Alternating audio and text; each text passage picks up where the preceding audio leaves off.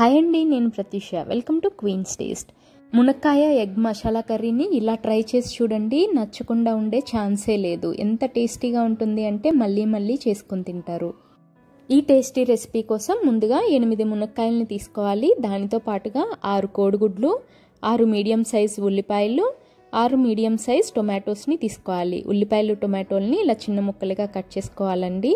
ఇప్పుడు స్టవ్ మీద పాన్ పెట్టుకొని రెండు టీ స్పూన్ల ఆయిల్ని వేసుకొని ముందే కట్ చేసి పెట్టుకున్న ఆనియన్స్ టొమాటోస్ని యాడ్ చేసుకోవాలి. ఇవి పచ్చివాసన పోయే వరకు మనం మీడియం ఫ్లేమ్లో ఫ్రై చేసుకోవాలి.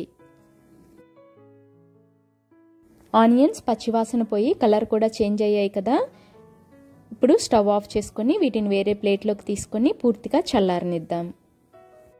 చల్లారిన తర్వాత వీటిని మెత్తగా గ్రైండ్ చేసుకొని పక్కన పెట్టుకోవాలి. ఇప్పుడు స్టవ్ మీద ఒక ప్యాన్ పెట్టుకొని నాలుగు టేబుల్ స్పూన్ల ఆయిల్ని వేసుకోవాలి. ఇందులో మనం కట్ చేసి పెట్టుకున్న మునక్కాయల్ని యాడ్ చేసుకొని ఒక రెండు మూడు నిమిషాల పాటు మీడియం ఫ్లేమ్లో ఫ్రై చేసుకుందాం. ఇందులో ముందే గ్రైండ్ చేసి పెట్టుకున్న ఆనియన్ టొమాటో పేస్ట్ని యాడ్ చేసుకొని ఒక టీ స్పూన్ అల్లం చిన్నుల్లి పేస్ట్ టేస్ట్కి సరిపడా salt one and half teaspoon one and half teaspoon కారం పావు టీ స్పూన్ పసుపు వేసుకొని ముక్కలు మునిగే వరకు వాటర్ని వేసుకొని కుక్ చేసుకోవాలి. ఆయిల్ అంతా పైకి తేలే వరకు బాగా కుక్ చేసుకోవాలి. ఆ తర్వాత ఇందులో ముందే బాయిల్ చేసి పెట్టుకున్న ఎగ్స్ని యాడ్ చేసుకోవాలి.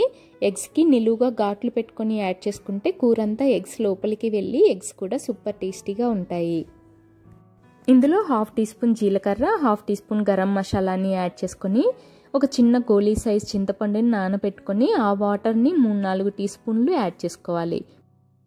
మునక్కాయలు కూడా బాగా ఉడికిపోయాయండి. ఇప్పుడు స్టవ్ ఆఫ్ చేసుకొని దీన్ని సర్వింగ్ బౌల్లోకి తీసుకుందాం.